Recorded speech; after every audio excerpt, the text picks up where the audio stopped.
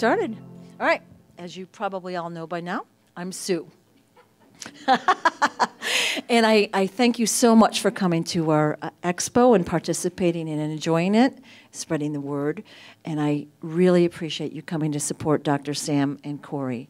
Their work is so important and it's bigger than we can even know right now. And I would really love for all of us to band together on a mission of peace and love to help planet Earth evolve and all of humanity evolve quickly. So, without much further ado, without any further ado, I'm going to pass the mic over to our featured speakers, Dr. Sam, the discoverer of the Bosnian Pyramid Complex, and Corey Goode.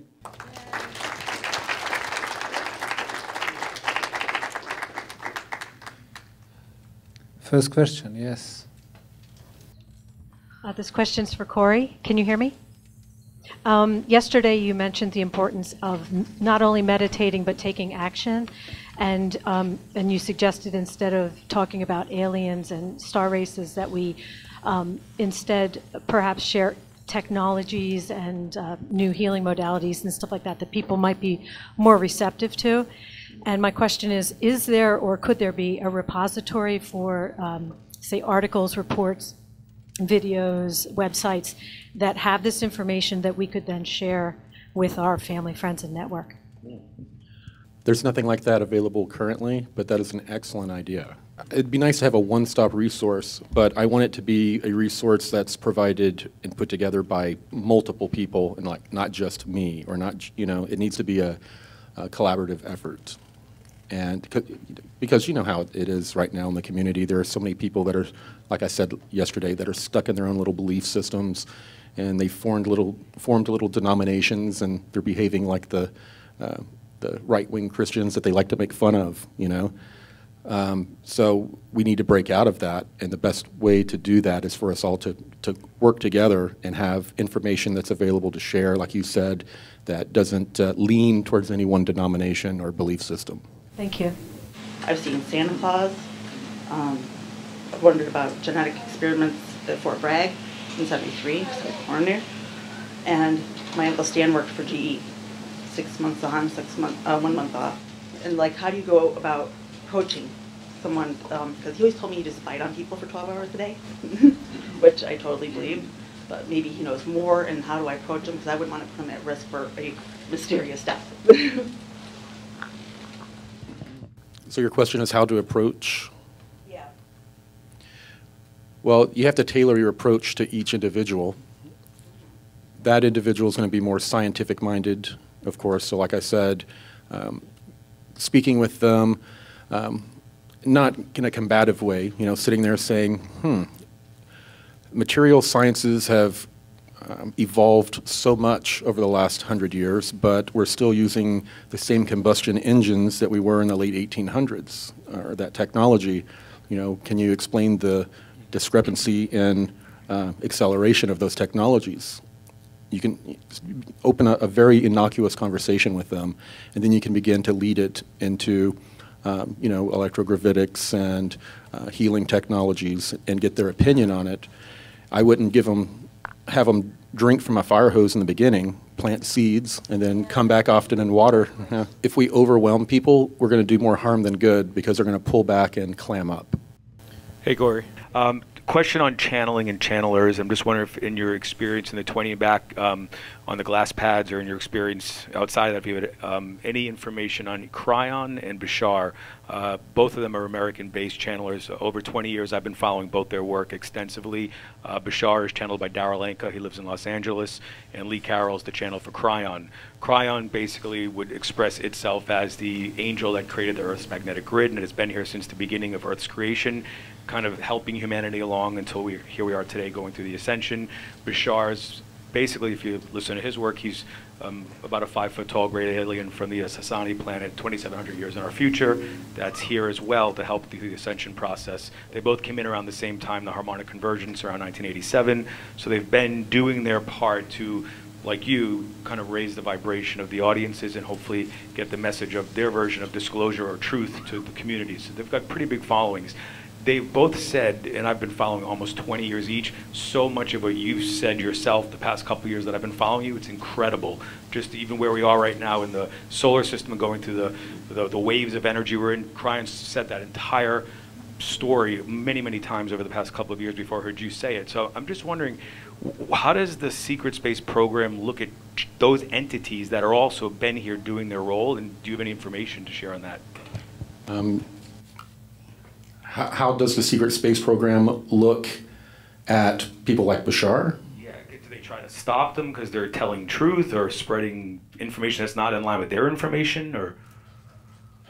You know, I really don't know. I have I did not hear of. Uh, I, I don't know the other person, but Bashar I, I know of because immediately when I came out, I started to get a lot of questions about um, their information. Um, the other person I'm not aware of. Lee Carroll. Yeah, I, I, I just I'm not aware of. Okay. But a lot of people are receiving information like they are through channeling and other means. And the only channeling that I was a, that was mentioned when I was in the secret space program or in the programs was uh, the Ra Material, and they wanted the uh, upper brass to read it and be familiar with it, but the rest of everyone else they um, they would tell us it's Luciferian. You know, it's it's it's from the devil, and um, a lot of the uh, military types that were participating in these programs came from very uh, conservative Christian backgrounds, and um, the powers that be know when to wave that little Satanism or uh, uh, Luciferian flag to cause a visceral reaction in those types of people. And you know, we've seen it done recently with me and some of my people. They try to say we were devil worshippers and stuff to get people to clam up and um, you know divert their attention. I would assume that they would do something similar uh, to Bashar and, and the other person up in the programs, but they were not mentioned when I um, when I was there. Does that answer your question? Yeah, yeah. Just just on that note, since you mentioned the Luciferian, the way they try to maybe trick you into thinking that's not good. It, it worked with me. It worked with me. I had stayed away from the Ra Material for a long time uh, in forums and other places. If someone mentioned it, I had a reaction of, oh, uh, the people I trusted told me that it was Luciferian. So I stayed away. It wasn't until very recently that I took a look at the material and read it.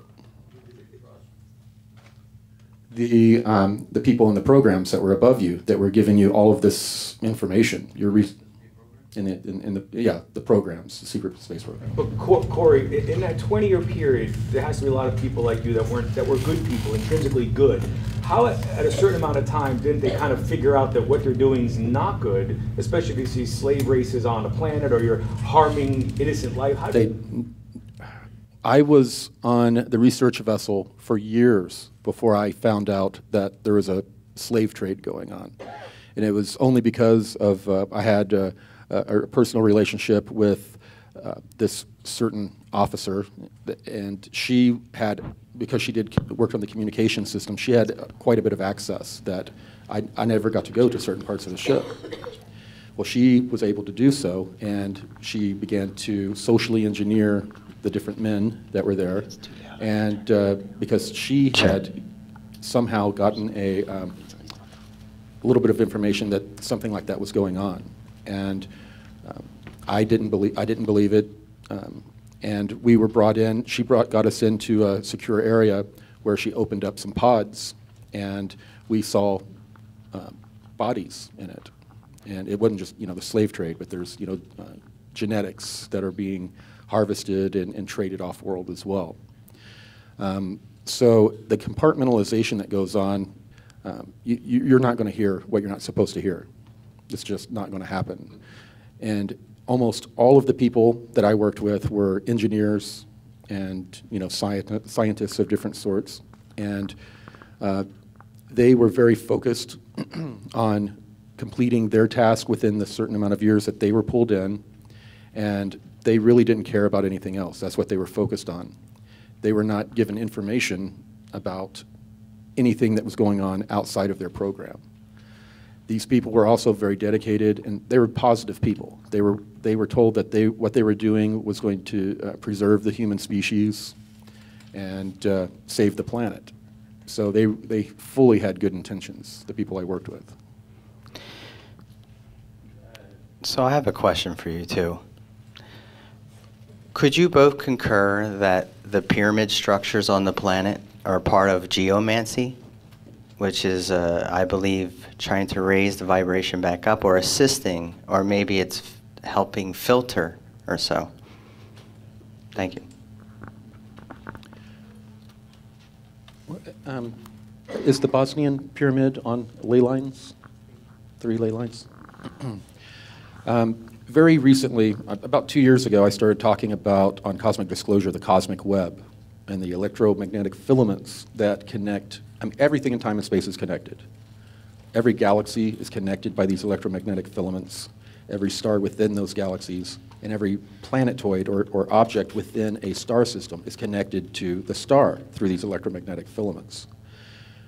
Each planet has a grid system on it, and as the planet spins, the electromagnetic filaments, uh, in, like electricity, electric universe, connects to different nodes on the planet as it's turning around from the information I received, they were balancing these nodes and controlling these nodes to where they were able to um, open these or predict the opening of these different portals. And it wouldn't just, not just portals, they would use, uh, when the portal wouldn't open, there was a, still an energy signature in that, on that node area, in, in these sacred places. And they, uh, shamans would use these energies for different things, for healing, for um, uh, they would meditate within them and be able to reach other realms to pull down information. So I, I'm sure that there's a lot more to these grid systems than what I'm aware of. But what I, what told, what, what I was told was that uh, it had to do with the cosmic web and balancing and uh, completing circuits within the grid. Geomancy is just a a part of the answer for the pyramids. What we have measured in the case of Bosnian pyramids, location is extremely important. Below the Bosnian Pyramid of the Sun is a huge iron plate, as I explained yesterday. Iron generates electromagnetic fields. The pyramid, the most powerful geometrical shape when it comes to the energies, it amplifies this electromagnetism. The second form of the energy, underground water streams, about 65 feet below the pyramid, underground water. Water flows, releases negative ions. The pyramid amplifies. The third one, 70 feet below the pyramid, is the second underground water stream. Bel- between the two parallel water streams, electricity is generated. The pyramid amplifies. Number four, natural magnetism. Number five, ultrasound. How do we get ultrasound? Electromagnetic field hits the quartz crystal, and then we have so-called piezoelectrical effect, which generates mechanical waves, which is a sound or infrasound or ultrasound. In our case, 28 kilohertz ultrasound. The pyramid amplifies this ultrasound. The next one, orgone energy or life or chi energy. In this conference hall, about 40%, outside 50, villages 70%, pyramids 100% of the orgone energy. So the pyramids are actually huge energy amplifiers or energy machines. At least the oldest, the biggest, the most superior on the planet. In China, in Mexico, in Bosnia, in Egypt. I, I, want, I, want, I would like to ask a question real quick, or a couple. Uh, you, you mentioned uh, uh, an iron plate. Has, have, has that been analyzed by a metallurgist? When we got the frequency of 28 kilohertz at the top of the Bosnian Pyramid of the Sun, we sent results to three different labs in Croatia, Serbia, and Austria. And they said you had to have iron plate, or it can be iron ore, or it can be even spaceship at the depth of 2,240 meters or 1.3 miles. Because of the depth, of course, we did not get there. But we do have the you know, source of the electromagnetic fields. Okay. Um, have Now, I'm, from what you stated, I'm assuming that there's a high crystalline, crystalline uh, content in the rock. Have people witnessed or reported any type of plasma orbs in the area? well, I, I asked for a reason, and he touched on it. Um, that it occurs in a lot of places, and what? Oh, he did. Okay. Well, well no, no. Listen, he he um, he touched on something that I, I found very interesting. Um, a lot of these mountains act like giant capacitors, and as he stated, there are almost always water streams going by, and the water, the friction of the water going across the crystalline, uh, causes a piezoelectric effect that energy builds up in these mountains until it has to release. And what occurs is it releases these plasma orbs.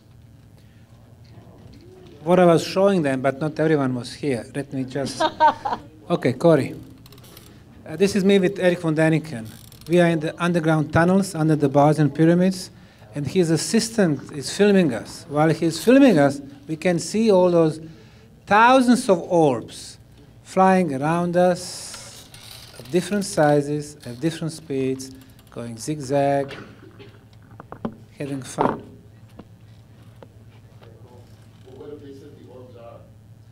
The orbs, well, according to our research, they are simply spherical energy entities with intelligence. And, okay, I'll show him the river of orbs.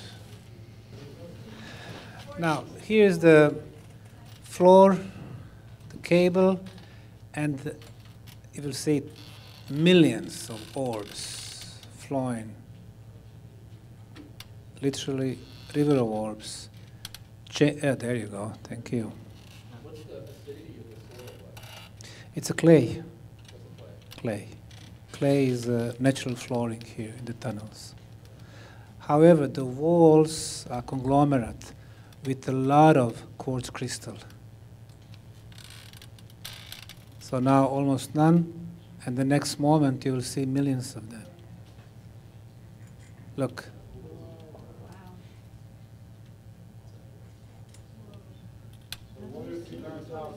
No, you can't see them. Majority of people cannot. I did have a few psychics who claimed to see them. You can even invite them. Yes, sir. What if you learned how to harness those orbs and program them? We don't harness them. They are simply different entities, like us. They simply vibrate differently than us. We don't need to harness them. I'm because we learned how to do it. Good. You need to let us know. We simply respect their existence. Interesting, huh? My question is about mind control. I'd like a quick definition of the techniques that are used for mind control and how we are able to break through that web. And maybe how we can help yeah. others. They, they use, of course, energetic mind control to pacify people, but and, and stuff like fluorides and stuff like that in our water. But the most effective mind control is the mind control we do on each other. They'll give us um, you know, uh, social norms. That's, that's a type of mind control. Um, different religious uh, systems that are, uh, that, we, uh, that are perverted at, and used as control systems. Um, there, most of the um, mind control and control grid that's going on is self-imposed. They've tricked us into doing on ourselves. Uh, there's definitely an uh, energetic, uh, they've exploited these energetic grids that we have to cause them to put out um, fields that cause people to be more docile. Um, so, you know, and then we have the more direct effects of like the uh, voice of God technology I've described on uh, cosmic disclosure and, um, and, and other technologies that, you know, interfere with the extremely low frequencies um, that the brain emanates, you know, the magnetic fields of the brain. They've learned how to um, manipulate and, and read those, read the data coming through out of the magnetic field. They learned how to do that a long time ago. And not only can they read what's coming out, they're very adept at putting the information in, in, in pretty much the same manner. How can we help others break away, like just by being a loving being? I mean, yeah, being loving, meditating, and all that's really good, but it's, I mean, it takes, it's, it's going to take action, you know? You, the only way you can really wake some of these people up is to shake them. There's, there's also this uh, component of this artificial intelligence, very ancient artificial intelligence that uh, many different galaxies are dealing with. This uh, artificial intelligence, it's, it's a signal that's being broadcast, and it affects our consciousness um, in, a, in a very heavy way. The solar flash that I'm told that is going to occur, and like I said, with the scientists in the program, some of them believe it's going to be a 360 degree full circumference mass coronal ejection. Some of them think it's just going to be uh, some electromagnetic pulses that come from the sun.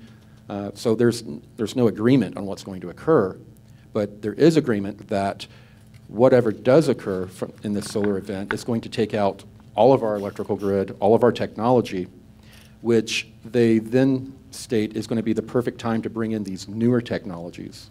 And when, when this occurs, it will also um, affect, uh, it'll cl clear out the um, AI.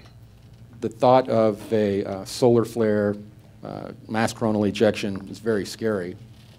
But uh, if, it, if it doesn't wipe us out, it's, uh, it's going to end up being very beneficial.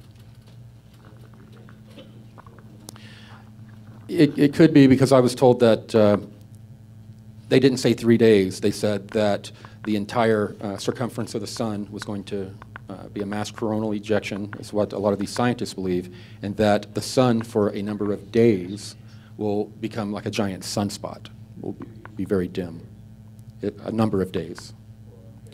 Yeah, yeah that's, da David likes to, uh, to, to make things, you know, uh, match certain things, but yeah, but yeah, I was told uh, a number of days. Um, yeah, I mean, it, I mean, it takes eight minutes for the light to go from the sun to Earth for us to reach it. I mean, if, if something like that occurred on the sun, we're not going to know for eight minutes. Hi, Corey. Have you heard anything that they're going to do a test on the grills grids next month, like shut down part of it at different areas? Uh, of the electrical grid? Yes. Uh, no, I haven't heard anything about that. Uh, my question's for Dr. Sam. Um, I'm curious, uh, has your team or any other team discovered any gravitational anomalies? Like, I understand that you said the resonance frequency was like the levitation frequency. Um, I was just curious to know, or like, see if you've any found every found uh, any stones floating, or was that resonance just used to like maybe make the stones levitate into place, and it's stuck with that frequency? Thanks. We do measure 28 kilohertz ultrasound in the tunnels and on the top of the pyramids, sun and the moon and dragon, love, earth, tumulus, which are the part of the complex. 28 kilohertz frequencies, what I explained yesterday during my lecture. Who was at my lecture yesterday anyway? Oh, there were 10 people. So, when you do experiments with the ultrasounds, 21 kilohertz, 22, 23, when you come to 28, then you can see that very light objects like ping pong balls, they can start levitating. This is the frequency we measured in the tunnels. You walk through the tunnels, you feel light. But on the other hand, your first question, uh, gravitational force, I don't think it has anything to do with the ultrasound frequency. Uh, we did measure, you know, gravitational force, it's regular like outside. However, the ceilings in the tunnels are conglomerate, so it's just sand, pebbles, rocks, no binding material. So when you look at it, it shouldn't be there. It should come down to the floor, but it's standing there. And uh, I had one of our friends, you know, she feels the energies, she can see the energies. She told me that at the original time when they built those tunnels, they used some type of plasma to keep the ceiling up. Of course, for me, it's very hard to explain to mainstream archaeologists, hey, you know, we have some plasmas there, by the way. They make sure that the ceilings do not come down. But just in case, we do place wooden support in every tunnel that we open. Hi, Corey. So happy you could make it into the East Coast here, and I hope to see you in the Washington, D.C. area sometime soon, where I live. Um, but anyhow, uh, my question is I have 50 questions, but my most urgent question, my most curious question is I had read or even maybe heard on one of your programs how the Alliance was thinking of taking out these, um, these platforms or maybe space stations that were orbiting the Earth that were um, using, um, I don't know uh, what source or what energy it was to, to, to control us. There were like three of them that he was talking about. I think this, this came from David Wilcock. And they're thinking of taking these out. And, and if they did that, it would have the effect that uh, we would have like an acid trip uh, on our consciousness. And uh, it got me thinking about. It'd be more like coming off of Vicodin cold turkey. Yeah, something like that. Yeah, exactly.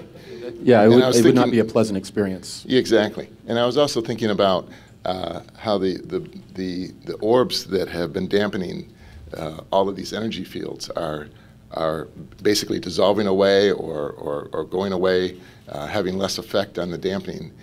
What can we expect from all of these, these cosmic energies that uh, essentially we're going to be unprotected them- from them very soon, if not already? What are your thoughts? What, you, what, is, what is the information that you have on this right now? In terms of the effects on us, how is, how is these, these new energy waves that are coming in? Okay, well, the, I mean, I, I, I don't know if I explained this yesterday. Um, as our solar system, our solar system is passing through, um, you know, we use the esoteric, you know, a high vibratory, you know, area of uh, the galaxy. But it's uh, basically a, a, a gas cloud, an energetic gas cloud. And as we pass through it, it's spinning, and we're like a dynamo going through this high energetic cloud the energy feeds in through the north and south pole of the um, electromagnetic field of the sun. It then feeds, uh, comes out from the sun. It, and the same thing happens to Earth. As these energies are coming, um, leaving the sun, they are um, interacting with the Earth's magnetic field and causing an electric reaction to where it goes into the north and south poles. And a lot of these energies are emanating out through these grids. And, um, and, uh, and, and, and just, you know, like mountains, uh, you know, Right. like we discussed before, that uh, uh, we're able to carry the electric charge. Well, would you say that we're kind of experiencing the early effects now of kind of like an end time madness? Yes. Okay. Yes, it's, a, it, it's affecting um, the consciousness of, of, of everyone and everything on the planet. Uh, but getting to this grid system, uh, this is what they called an Orion grid system. It was put in out, out there eons ago. And um, it causes um, um, a field to, to go around the Earth. That they're not all space-based. Some of them, uh, they utilize um, the, the grid the ley lines, the grid. What, um, what the um, parts of the alliance have discussed is that they want to shut off this grid. One of the reasons that we're having end time madness is A, because of this energetic increase. But not only do you have this energetic increase coming from the sun, but the beings that control this mind control grid have had to turn it all the way up to max for it to have the same effect. And we're being hit by all these different scalar waves, electromagnetic waves, and uh, uh, parts of the electromagnetic spectrum that uh, we don't even really know how to measure. That is affecting the consciousness of everyone on the planet. I mean, we're seeing it right now, the end time madness. You see, you know, people that are positive, that are starting to kind of bliss out, um, people that are very negatively oriented, that are becoming more so, um, and they can't hide it anymore. They can't hide the, the negativity. And then the people who have mental illnesses are having a lot of difficulty. They, they are, are and they're gonna, it's going to get worse. So um, I hope that an- answers your question. I have a question for Dr. Sam. Um, When I was watching your video for the first time, I did notice what you pointed out yesterday, that the pyramids, the corners of the two sides look like they go down much farther than what the base is you're measuring. when you look at where the tunnels are that are going through the pyramids, are they down in that lower section or are they just in the top area? Officially, we use number of 220 meters, about 720 feet as the height of the biggest one, the Bosnian Pyramid of the Sun. But the tunnel entrance, when we look at the topographic map, is about 280 meters, or about 900 plus feet. So officially, we would come below the pyramid. However, on some of the maps, we can see that actually the height of the pyramid is much more, about 1,200 feet, which would mean that would get, we will get actually inside the pyramid using the tunnels. And so far, they're all leveled. But we work only on the first level of tunnels. Just last year, we discovered the second level of tunnels, about 40 feet below the first one. And it seems that there are between three and the seven level of tunnels under the ground. So after 12 years, we are still really scratching the surface. And also that beam of energy that comes off the top of the pyramid, have you studied that at all? Like, do people have healing if they sit there? Is it good to sit on the top of the pyramid? Like, what, what is, how does that frequency affect the body? Okay, let me answer that question. And from that, my answer, I would like to ask Corey a question. So let me show you just a few slides. Let me get everyone else involved in this. So it will be easier to follow the whole thing. So this is the Bosnian Pyramid of the Sun. So from here up 220 meters, 722 feet. When we started the excavation, three, four feet below the soil, we are finding rectangular blocks, which we have analyzed at seven institutes for materials. It's artificially made concrete. Some people call it geopolymer concrete, some people call it synthetic concrete. Much better quality than ours. So, if we, on this photo, remove this green color, change it to brownish, this is what you are getting. This is probably the original look of the Bosnian Pyramid of the Sun. Now, on this illustration, here is the Sun Pyramid, 220 meters. Now here we removed the greenery, and you see how this side goes all the way down to the bottom of the valley. So now we are talking about 1,200 feet. So we go back in time, the probable look of the whole valley of the pyramids. So the sun, the moon, dragon, love, temple of Mother Earth, five structures. But the reason we came here, when we started finding the purpose of pyramids, we are using different scientific disciplines.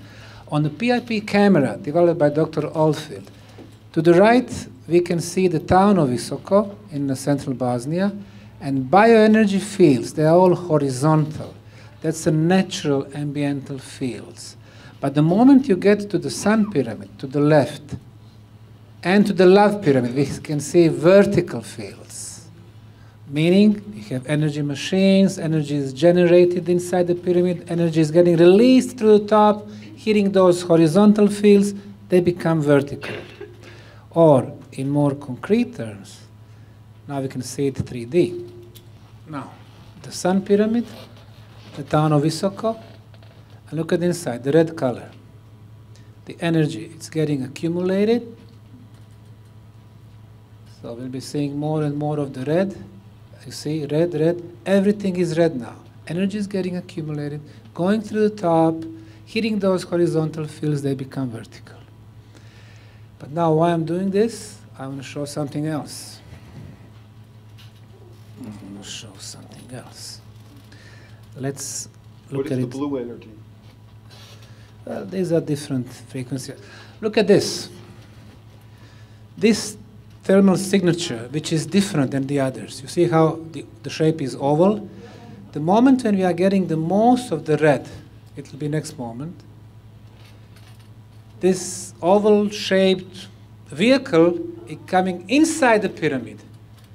And then, a few moments later, you see, it's leaving. Like an orb. It's an orb. Yes, it looks like the spaceship because of its size. Oh, I'm sorry, you can't see that. Here it is. This is a part of the question.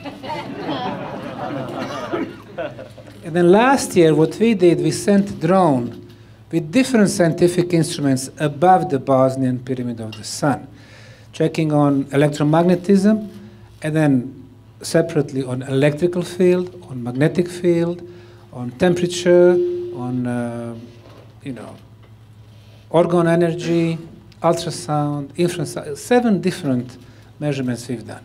The most interesting stuff were in electrical field, electrical, no magnetism. Magnetic aspect is not there. It looks like this. This is zero meters. This is the top of the Bosnian Pyramid of the Sun. We have this energy beam, electrical in nature, of 13 feet. And then it starts to expand. At the height of 21 meters, or about 70 feet, it is the widest and strongest. And then it's getting narrow. And then it expands, getting narrow, expands, getting narrow. So these are the scalar waves which you just mentioned, the scalar waves. Their properties is they are much quicker than the speed of light. And then we were checking where is this, the scalar waves, where are they oriented to? And here's the orientation. You see the sides east, west, north, and south. In the afternoon, the orientation was mostly to the southwest. At the noontime, south. Now let's see how our sun moves. In the morning, east. Noontime, south. Afternoon, southwest. Evening, west. Right? Sunrise. So, the scalar waves, noontime, south. In the afternoon, southwest. Meaning the scalar waves follow the path of the sun. And those who were here yesterday, they could hear that we also measure the ultrasound in this very energy beam, which is basically the information. So the scalar waves are oriented to the sun, so there is a probably communication between the two. And then using the sun as the cosmic gate going through other solar systems.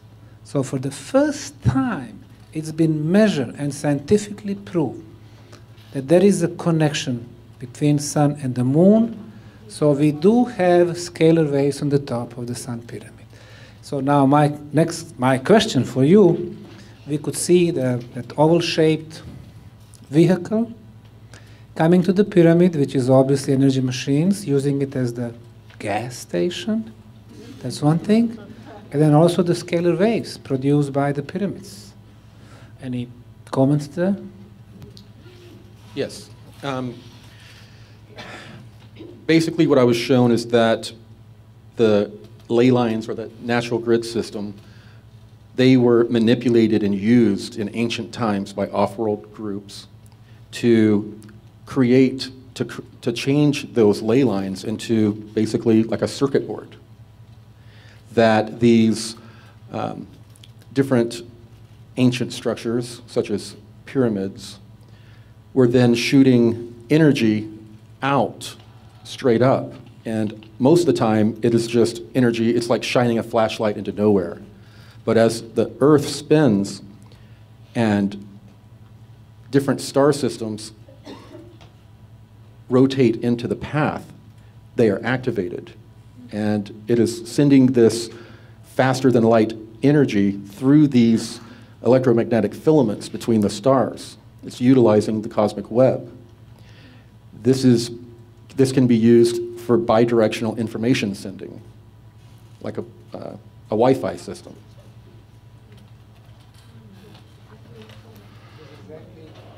That's the conclusion we are getting. But then, in our case, the good thing is that this is the only archaeological important archaeological site, where we are totally open.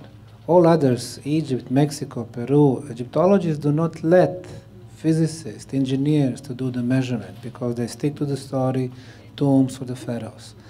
And uh, if you, I know there is a lot of questions, but if you don't mind, when we're talking about this energy beam, we also detected the ultrasound inside this beam. So what we did, we converted the ultrasound to something that we can hear. So I'd like to, to run this audio file. I think it's very interesting and uh, maybe somebody can decipher what it means.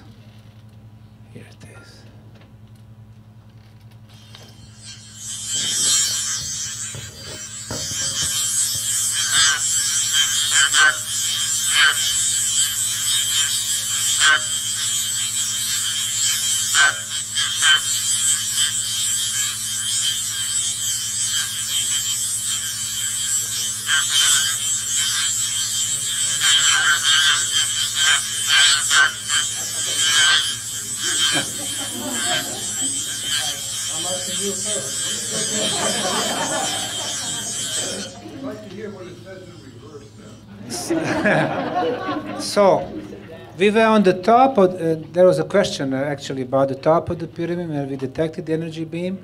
When you go there, five minutes is fine. After five, ten minutes, you become a little bit dizzy. And then, uh, you know, dowsers came, they measured on the Bovis scale. Bovis scale, humans are from six, 7,000 Bovis to 20, 25,000 Bovis. Everything up to 25, 30,000 Bovis, very pleasant. Over there, 50,000 Bowies. So it's just too much. Uh, so in this, within this energy beam, 13 feet, we measure the ultrasound. Now we notice when we were measuring the electrical field that it's getting stronger as it moves away from the pyramid. It's getting stronger, which is a, a kind of anomaly because you would expect if the source of the energy is inside the pyramid or below the pyramid, that the signal is getting weaker and weaker. But here it's getting stronger and stronger. So theoretically, this energy beam can go through our solar system, can go.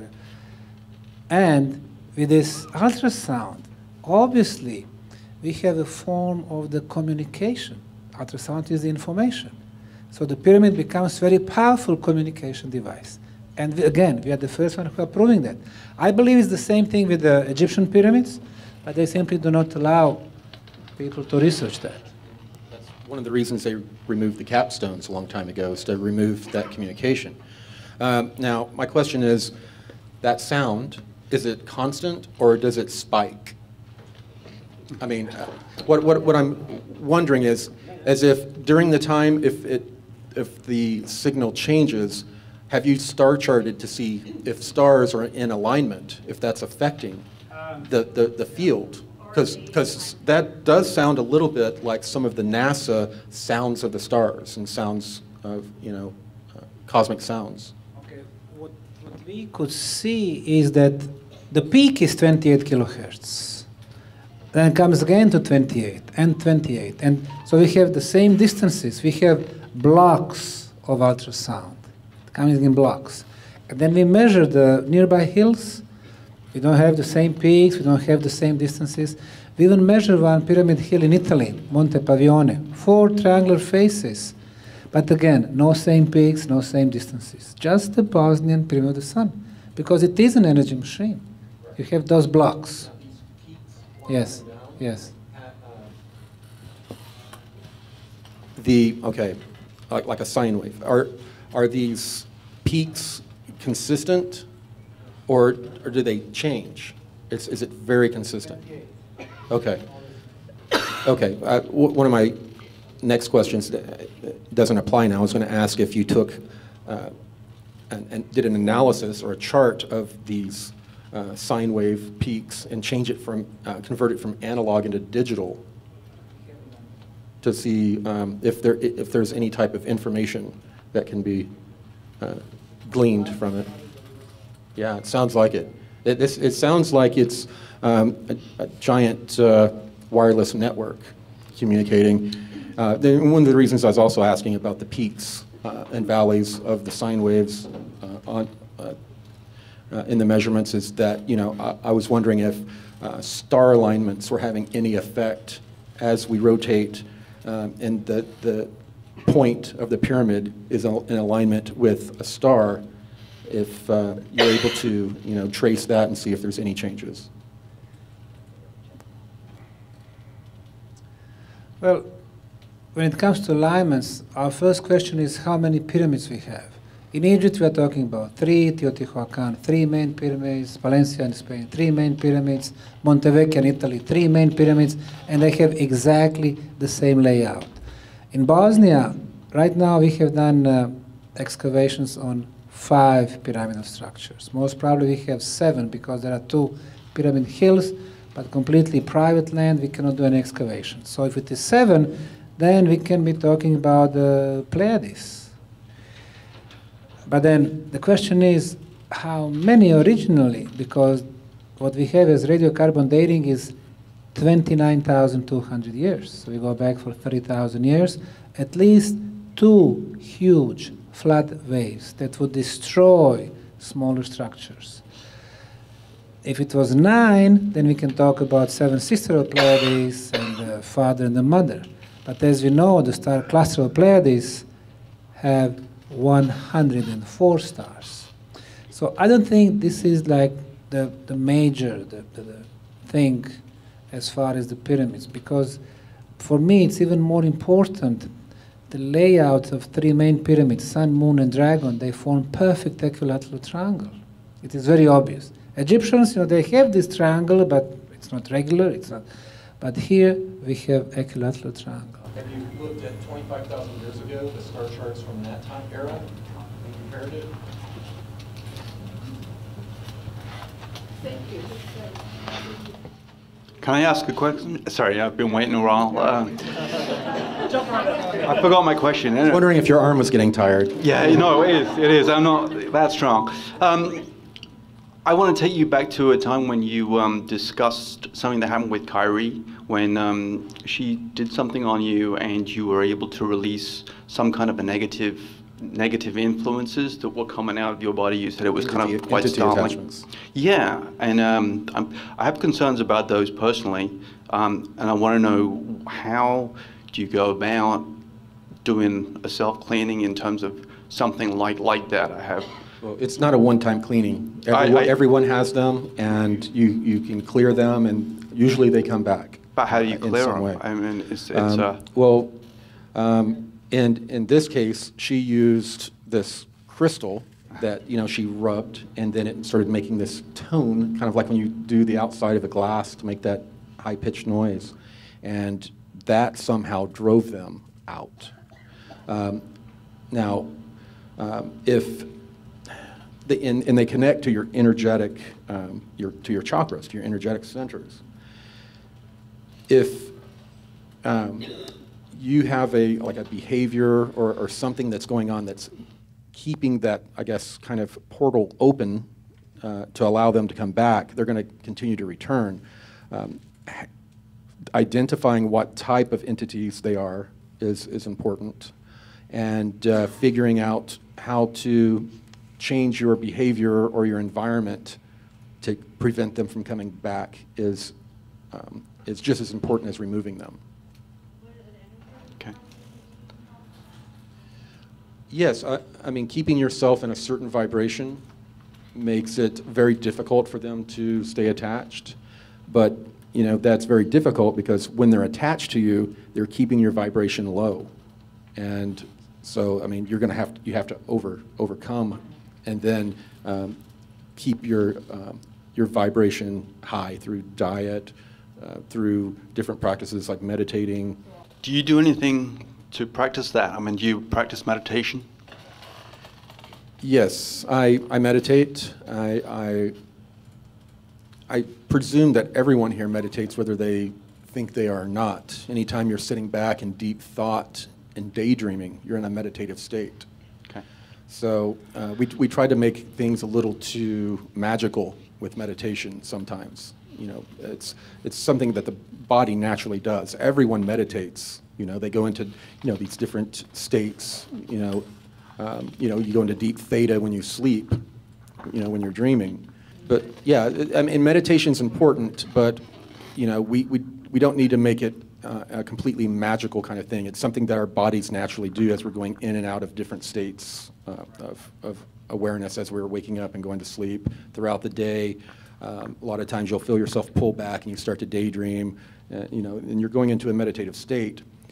Um, but having a more focused meditative state, focused with intent, you know, is, is important. You know, with the intent of not just going into the meditative state, because we all do it, but to uh, then um, be able to, it's kind of like lucid dreaming. You know, everyone dreams, but uh, every once in a while someone will have a lucid dream, but once you learn how to recognize a lucid dream and how to control it, then you start to have a different experience. And it's the same with meditating and getting into those different states of consciousness, from, from my experience anyway. Yeah, I have um, a question about um, on your latest video I was just listening to before I came here about the Anshar. You had mentioned they were trying to move into a temporal route, a temporal anomaly to escape the cosmic energies. I wonder if there's anything you can share on that um, more about. Yes, what they've told me is that uh, every every cycle, which is 20 something thousand years, they sequester themselves inside one of these temporal anomalies. Um, during these cycles, the energetics change quite a bit. They, uh, they're fourth density beings, and uh, it's basically consciousness is what we're talking about. ascension is, is, it first happens through an expansion of consciousness, and then everything in the physical realm kind of follows. You know, as I stated yesterday, uh, we're not all of a sudden going to have telekinesis and be flying around the planet when these energies occur. It's going to take uh, you know, a long time for us to kind of acclimate to them and, and learn how learn how to, to utilize them. So Does that affect them in some other way that's different than us? Yes, it's I mean, we are susceptible to these fields. So um, let's say a field that is uh, our consciousness is on a certain vibratory level right now, a, frequency. Theirs is at a much different frequency, and they're affected by these high frequencies coming in in a different way than, than we are. It's, it's not necessarily going to give them a bump up in ascension as it is us, because we're, we're lower down on the frequency level. They're above the frequency level of the energies coming in. You know, because they're basically, they, they claim to be us from the far future after we've already made this consciousness uh, ascension, this uh, uh, fourth density shift.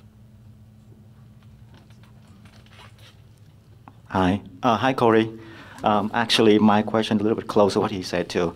Um, when we heard about the meditation during total eclipse and how successful it was, um, and now we were told it's only a small amount of light workers going to maintain and steward that. So we hopefully we will have an optimal timeline. So my question is about how do we coordinate that? Um, seems like we scatter around different regions, and we probably we get together on this kind of event. Is there a plan to help us to coordinate the effort? Because it's, look at this is how important very small, very small amount, very committed light workers to do this thing, and we know it's very hard to. Every single one of us go to different um, personal, family, all the obstacles. This is not the easiest thing to do at all. Right. Yeah, it's any any time anyone tries to form some sort of uh, cohesion for people to work together in that way, something magically pops up that divides people. And these are basically operations that are, are done by you know these different intelligence groups. They do not want us coming together and mass meditating. You know, it's, it's, this is an uphill battle for us to be able to organize. Um, you know, the, um, I, I, stated yesterday, our co-creative consciousness, we have the ability, not only do we have the ability, we're co-creating this experience right now. Everything is a vibratory illusion. We're given it cohesion by um, uh, some sort of an agreement between us. We're agreeing that we're going to co-create, you know, this environment that's a lot of power. And that's also the power of these cabal groups. We hear about the black magic they use against us. Well, the black magic that they use against us is our own co creative consciousness, abilities. We manifest things. They plant seeds in us, and then they give us a, a, a catalyst, usually a heavy emotion of fear. And that catalyst will, will cause us to manifest what they want us to. Instead, you know, of us manifest, being tricked to manifest a prison planet, once we learn our co-creative abilities, we're going to be able to manifest whatever future we want. That's what they have to keep us from discovering. And that's one of the main reasons why it's been so hard to bring all of these people together to, you know, form a group that's going to do mass meditations that are focused on one intent. That's really what needs to happen. All of us that come together and we're all meditating on slightly different things, if we can find one intent to come together on, we're going to be able to manifest it on a, on a small level, but it's going to throw the balance off of, of, of this black magic uh, uh, reality they've created. Yeah, just meditating alone is going to, uh, because, you know, the hundredth monkey effect, we've got a, um, there's a super consciousness that, you know, we all tap into, you know, the Akashic and, you know, and then, you know, different levels. So if, yeah, if they can uh, prevent us from tapping into that information or uh, getting, uh, or just getting a bunch of people, even if they have different intent, the, um, uh, if you get like a fraction of 1% of the population all meditating, even if it's on different intents at the same time, it's going to affect the mass consciousness. And that they, they do not want that happening because they are affecting the mass consciousness in a way uh, that allows them to control. Excuse me, sir. Sure. I've been visiting very interesting communities on the planet that were trying to combine spirituality with the physical aspect. For example, in Italy, close to Turin, there is a place called Damanhur. Probably some of you heard about Damanhur. They've been there for almost four decades. Meditation is part of their daily life, several times a day. Very spiritual community. Then Auroville in uh, India, southeastern India, on Indian Ocean 50 different nations, village of 2,500 people. Again, meditation, the focused meditation is part of their daily life. Kibbutz in northern Israel, several communities here in the US. But then eventually, what becomes a problem is the power struggle, money, how to organize their communities. So even when there is an organized effort of hundreds or several thousands of people, you know, it seems that for some reason, one or another, they are not able to, you know, uh, get there on the track all the time. The problem with our society last seven, eight thousand years, we have, you know, less than one percent, you know, having most of the resources, 99% of us not being organized. We try to do something good, like he says, intelligence is there not to allow us to do that. So we need to get better organized. We need to get organized conferences like this, seminars, people talking about this, sharing the knowledge, the information, it becomes the major thing. Corey, what about these other races that are living inside the earth? Um, it seems that uh, they have no choice than to follow the plan the Anshar have of revealing themselves, because once their cover is blown, their cover is blown. Um, they don't they didn't want to go along with revealing their identities and their and their, their history and are they just going to do nothing or, or, or what do they what do they intend to do? Well it, it depends on the group you're talking about. There are many. And I know that's the in, in, the programs these bases they called them embassies and they would call these non-terrestrials people no matter what they look like. Um, now, now, what's the root of your question again? What are they? What, what, oh, okay. what are they going to do? I mean, yeah. Uh, now some of these some of these groups um, want to come out under their own um, uh, under their own plan, I guess you could say. Um, some of these more negatively oriented um, people are, are non-humans, uh, such as the ones that are living under Antarctica right now. Uh-huh they really want to have a future to where we have um, disclosures in a way to where we find out that, hey, there's an ancient civilization that's been discovered under the ice. This ancient civilization didn't come from Earth originally. This ancient civilization, that bloodline was genetically uh, mixed with the beings that were here on Earth, the humans that were here on Earth, to create a uh, bloodline to, to control the planet. Mm. This, um, what they would like to do, these negative groups, is for us to find out about these civilizations under the ice in a way that makes them look like divine, makes us accept a divine right of kings and begin to look at them as demigods. Um, you know, and they're going to, you know, be able to say, you know, we have, we come from this great race that, you know, once, you know, inhabited multiple solar systems. You know, we have all of this sacred knowledge that's going to help the planet, you know, subjugate yourselves to us. Well, you have positive beings that do not want that to happen, such as I was speaking recently uh, uh, with intelligence people. They're very aware of the different timelines uh, that are going on. We were not supposed to win World War II. We were given a two front war with two very um, aggressive enemies, so called enemies, and uh, America wasn't supposed to make it through it the way it did. But America was receiving assistance from a different non terrestrial group that had a different agenda. We would like to think they're positive. Uh, the same group that helped our forefathers set up this uh, country, you know, to begin with. This, there, was a, there were a lot of hands in creating this country. It very, uh, it was a miracle that it came to be a, in, at all because of the uh, adversity that they had.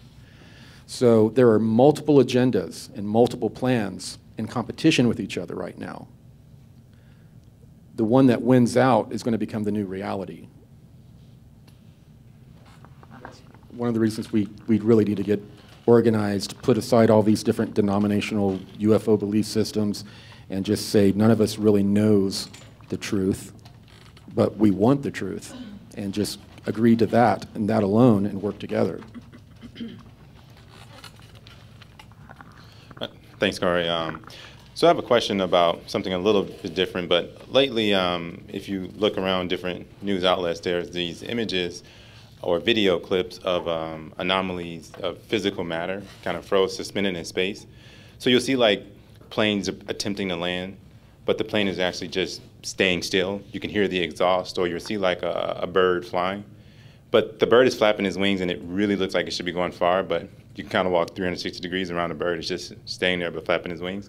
Have you seen anything like that? And um, is this like a time anomaly, or do you have any explanations or any insights on things like that? Uh, no, I, I, would have a lot of questions, as in where this is occurring. Is it close to some of these energy grids? Um, these, um, we have a. I said yesterday we have a lot of time at our current level. Of we know we've understood. We can understand now. Okay, there are gravitational waves. Um, you know, space can be uh, compressed and expanded, but we have a hard time with time. You know, these timelines uh, that, that, that people just they can't grasp it. Yeah. But yeah, uh, the um, time and space are both elastic. You know, they both snap back. Now, during these energetic changes, there are going to be different points on uh, within the grid system on the planet that weird anomalies are going to happen. I don't know if this is one of them or not because I'm not really familiar with it. Well, a lot of these occurrences are um, by airports where the plane is actually landing. And, and now the video is kind of expanded so you're seeing the point of view of inside the plane where people are in the plane looking out the window thinking like we're not moving, it's very clear. And then from the outside of the airport, people are recording the planes. You're hearing the exhaust and everything, but the plane is just sitting there very still, not moving at all, and many other points. But yeah, I'll look into that. I, I'm not familiar with it. Uh, so I would like to ask Corey, have you heard anything or do you have any opinion on the crop circle phenomenon? Uh, I've been there, I've visited it, I've talked to a lot of people who've studied it for 25 years, and um, they do see these plasma orbs creating these uh, things in the fields. So I'm curious what you think of that, and also I'm curious what you think of the chemtrail activity. It seems to have slowed down this year, but it was really heavy the last five years, and probably for longer than that. There, in the programs, there were um, several um, different theories about what was going on with the crop circles. Um, I, basically just heard the scientists discussing the different theories. There was there was no conclusion um, at that point. The um, you know 9/11 uh, and the uh, chemtrail thing are, are two things that I just don't have a whole lot of information on. Um, but it's, it's definitely, you know, I, I've, I've talked to a couple people in intelligence agencies, and they've stated that um, some of these, the spraying is to um, reflect um, energy coming in, but some of them are created just to bounce um, communications waves off of. So that's, that's the extent of my knowledge on that. Uh, I don't know who's creating them. I know that we've been able to reproduce them, you know, um, with, uh, in, the, in the programs, they've been able to reproduce them, but uh, I don't know if this, this code has been deciphered within them or not in the programs. I, uh, I have a question for both of you. If you heard about uh, the stone circles in South Africa, like 200,000 of them? Yes. And what do you know about that?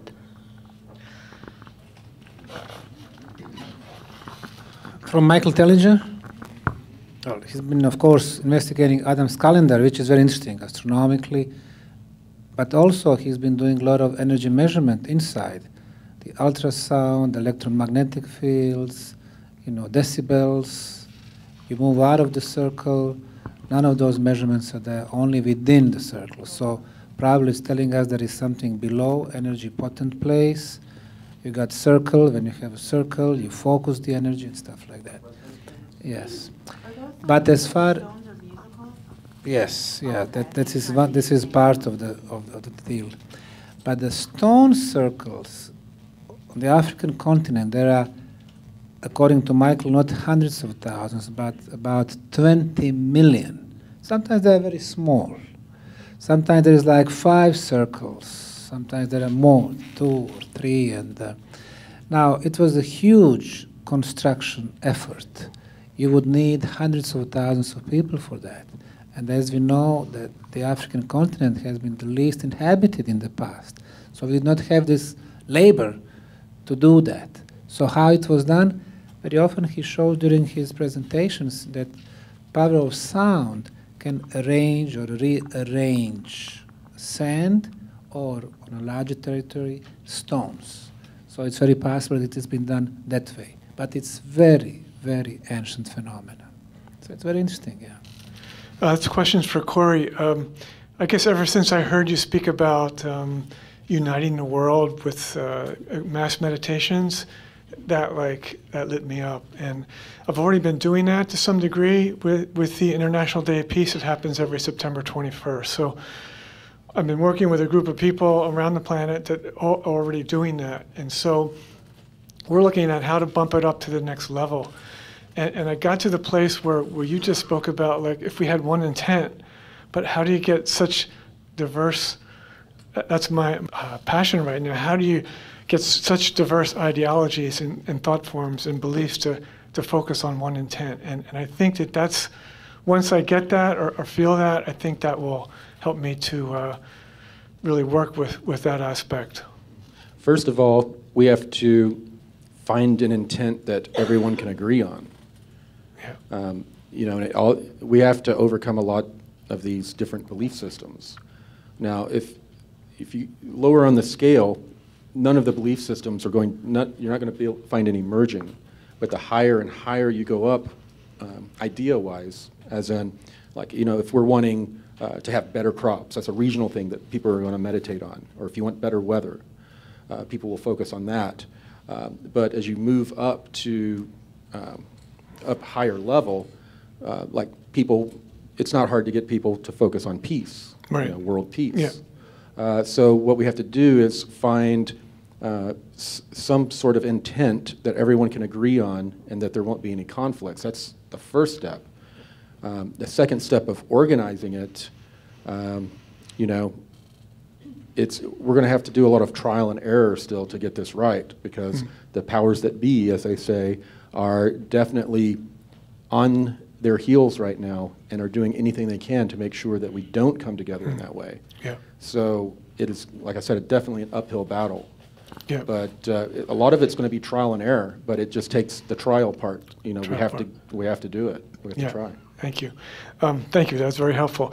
I just wanted to share a couple of things um, that I fa- find most helpful to deal with the energetic forces now, and it, it came from uh, a teacher that I work with. His name was Swami Kripalu, and uh, he was he was a Kundalini master. His main practice was alternate nostril breathing, and, and, what I've learned, what that does, it really helps to prepare, prepare our bodies and our, and our physicality and our nervous system to uh, move into these higher energy fields. And also for clearing um, is the Native American Sweat Lodge. So if there's a, if anybody, if you have an opportunity to be in a Native Lodge, that that's, helps to clear a lot of those entities. And so I needed to say that much. Thank you. Hi. I wanted to ask you, uh, you had posted something about uh, Netflix and that they were doing a 20 and back show. Could you share with us? on that? Yes, it's very much in the planning stage. Um, what we're attempting to do um, is try to find different ways to get the information out and to use the tools of our enemy against us. Um, I, I stated yesterday, whenever you watch a movie, you'll go into like an alpha state, which is basically setting you up to, to be in a state that you're more susceptible to programming. Now, they're doing that in a covert way to uh, manipulate our mass consciousness. What we're hoping to do is, in a very overt way, use those same tools, uh, use movies, use uh, different symbols in uh, like graphic novels, and, and, and encourage people to, to put that information out in, in other ways in, in the same type of media that's used against us. If we can start to um, slowly awaken people, or at least soften them, you know, uh, a little bit to where they're ready to awaken, it's going to um, it's going to assist this effort that we're trying to do right now. So, um, yeah, we're uh, we're working with uh, uh, some well-known writers and producers and stuff like that, um, and we want to do um, a movie and a series about the 20 and back, which you know that's a very science fiction, sexy kind of topic. You know, people will want to watch it. Okay, you got them hooked. While doing that, put in different spiritual things, different things that are going to guide people to think, like, hmm, and, and challenge their own belief systems. Um, we want to do that, use a covert tool of the enemy to use in an overt way. Uh, but it'll be a good year and a half before that comes about. And, you know, we got, in, in the meantime, we need to find other ways to affect the mass consciousness through, you know, meditation and, and other things like what we're doing here. When you start getting, this is what I'm because you're talking to the choir here, is getting to the more conservative. You know, if you get on Netflix, which is not like Gaia, which is a pagan, a lot of people don't even know about Gaia. It's just wonderful. It's something where more people who are more the conservative, people I'm around anyways, to begin to have this information, even subtly. That's what we, I feel is very important, not just the What's interesting is that the, when it comes to the conservatives, most of the people who watch Cosmic Disclosure are conservatives. Uh, Gaia stated that they got the largest bump in viewers when they would advertise in Christian publications. So this is good. Now Netflix is another good one. Right, but we need to have um, numbers of the, yeah, money is, um, it's definitely a problem. It's uh, a, a tool created by the enemy, and of course, we want to utilize that against the enemy. Because to be here and talk to people about it, talking to each other. It's wonderful. But I go out to my family and you have no one to talk to. No, yeah. Hit a wall. Right. Well, I'm, I'm preaching to the choir, but most of the choir is not singing. Most of the choir is sitting there looking at the lyrics. They're not, uh, it's, it's all happening right here. They're not pushing it out, they're not sharing it. So the choir needs to start singing, but we need to find a song that uh, the target audience, right, is going to accept. Exactly. And that, and that goes back to not approaching people with eight foot tall blue aliens and approaching them with more, yeah. Well, not even that. You need to tailor your conversation for each person. You have to profile them a little bit. Hi, Corey. I have a question. Um, I had seen you on Gaia talk about Kyrie had offered to give you a sort of a mind meld to tell you who you were, who you are, and who you will be in the future. And at the time, you were not open to receiving that. Later, I heard you say that you were becoming more open to receiving that. Have you received that information, or um, when you, if and when you do, would you share that with us? No, I have not received the information. Um, I have observed Gonzalez very closely because he has gone through that process, and he literally became a, a different being. I mean, he is not the guy I, I knew before. Um, now, this may sound petty, but I was told that it would un- profoundly affect my relationship with people I'm currently close to, like my children, my family. So it's a very selfish thing. I'm afraid, I'm worried that Gonzalez was one of the main reasons he was using, Gonzalez isn't his real name, obviously. Um, he has family down here. And he uh, was very concerned about them uh, being targeted as a way to get to him. Now, he has changed in such a way that he's become a different being on a different mission, and he is, that, the, that relationship is not important to him anymore. Um, so, yeah, I have some intrepidation about that. If I, I've, I was told they offered, made that offer three times, and I turned it down three times. If I ever get to a point to where I feel like I am ready for that, I am to approach them. And I am not there. Hi, Corey. My name is Smarty, all over the internet. Earlier, you mentioned about how people are using uh, technology, technology to manipulate matter, right? What if we were you? What, what if we can? What if we have the ability to do the same thing to combat what they're doing to us? We do have the ability. I know, because Yeah. I'm one of them. Right. Well, um, what's your question? My question is, is there any way any one of you guys would consider working with someone like myself who has the ability to do that?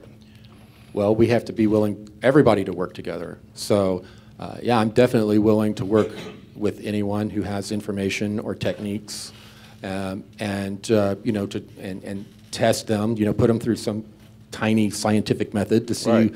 you know, what type of results we get. And if it's something that uh, turns out to be beneficial, then of course we'll do everything we can to try to get people to join together and, and adopt those, you know, new methods. Okay, because I have a, a website where people can go and download free images, and all you have to do is put them on your devices, and they'll cancel out radiation, and that's for free.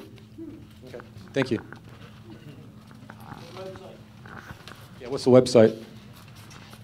It's holotech.biz, H O L O T E C H dot B I Z.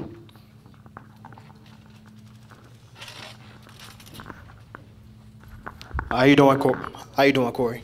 Uh, Thank you. I was just wondering, uh, have there ever been any times that you've wished that you didn't have these experiences and lived a quote unquote normal life, or do you feel yourself you're lucky to have experienced all this?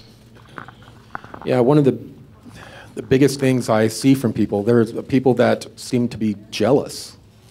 You know, I have people uh, they're obviously not listening closely to me because um, this is not a pleasant thing. When I'm meeting with these beings, they're they're not patting me on the back and saying, "Oh, you're going to be such an important person." No, they're they're pointing out what a jerk I am uh, constantly.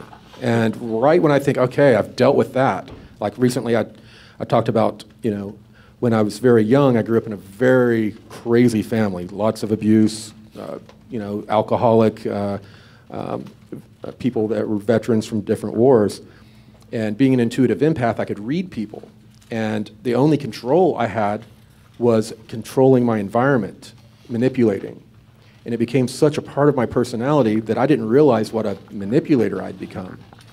Well, after I dealt with some of the things that they had shown me, and I thought, okay, I'm doing good, you know, I'm doing well.